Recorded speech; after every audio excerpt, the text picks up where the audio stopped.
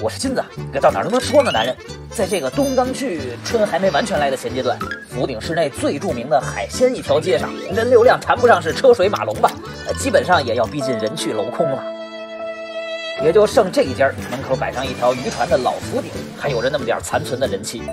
啊，对了，若是到老福鼎家吃饭，点菜环节基本上就得在这一条渔船前度过。看看您对上面哪种海鲜有眼缘，就点上它，然后注明做法。老板会根据用餐人数来安排菜量。鉴于最近风大浪大，并没有什么渔船出海作业，我想体验的许多种海鲜均处于缺席状态。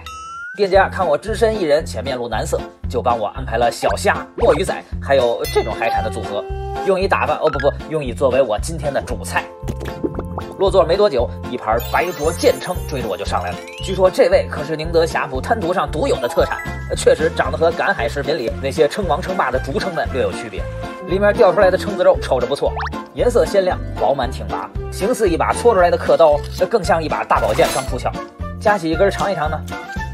感觉是弹性十足，没想到这宝剑的剑身厚度还挺有保障，一口咬下去能感觉到明显的咯吱声，刹那间剑称的汁水在口内快速融合于白灼的调料中，让咸甜鲜在某一个瞬间达到了极致的和谐，令人无比满足啊！用一句朴素的话语来形容，就是吃完一个绝对想再吃一个。就是有一点吧，单人版剑称实在经不起我这叠罗汉的吃法，整完几个再往盘里一看，得就剩一堆残垣断壁了。转过头来看看这道杂烩小海鲜吧，小虾个头不是很大，但这个虾皮和虾肉吧，怎么吃着比福鼎肉片还带劲儿，紧实到甚至有点不真实。墨鱼仔则是吸收了盘中料汁的绝大部分味道，加上自己本身也不怎么寡淡，连续吃上三两个，怕是会突然被冲击到味蕾。还请大伙儿一定结合着芹菜一起吃。然后里面的第三种海产吧，我想重点说一下，老板给我说这个是水鱼，等到上菜的时候，我才突然反应过来。咱们一般语义里说起水鱼，不得是浅水区的流量担当王八君吗？难道这水鱼还有什么别的意思吗？二，浅斗而一收偏者。呃，说的真委婉。其实据说水鱼是温州和闽东地区对这种小鱼的专属称呼，它的名字也叫丝丁鱼、龙头鱼或者豆腐鱼。顾名思义，此种软货的肉质吃起来就像嫩豆腐或者液体一样润滑。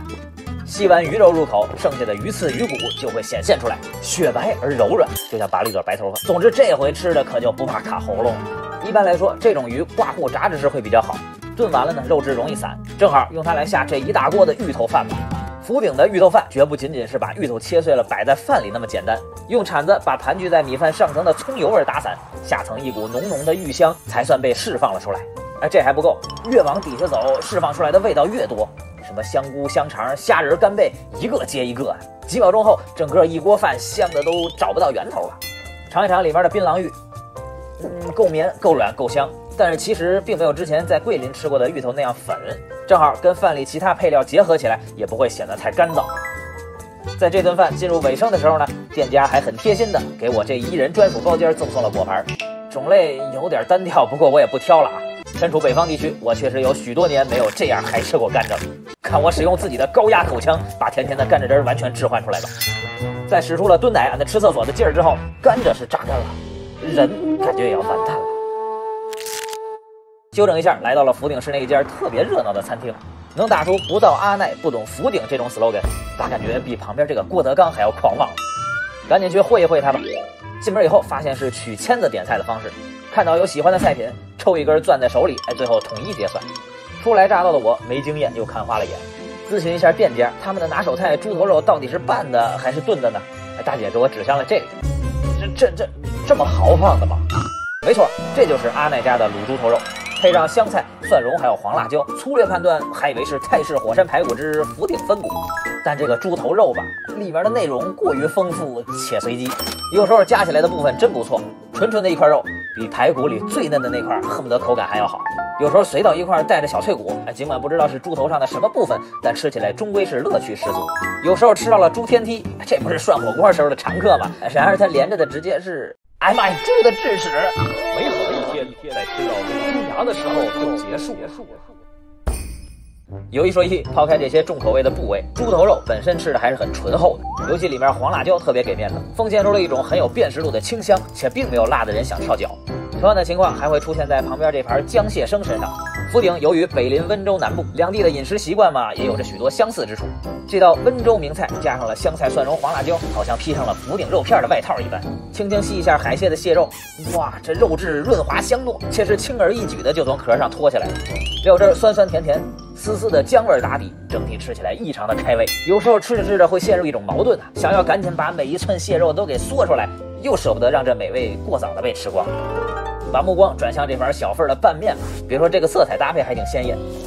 咦，这个表现属实有点惊艳呐！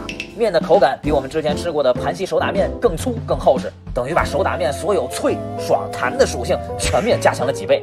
然后前有豆芽菜，后有肉末、胡萝卜碎，无论从何处夹起来，都会裹挟着最丰富的口感层次。对于面条爱好者来说，吃着绝对有一种快感。而且一般这种拌面啊，要么特咸，要么得有麻辣来遮味儿。结果它成了全场最清爽的存在。肉末定个调子，剩下全是面条的卖相。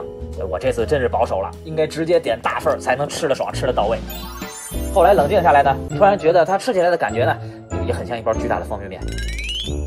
总之，阿奈家这些福鼎特色的菜肴确实让我领教了不少。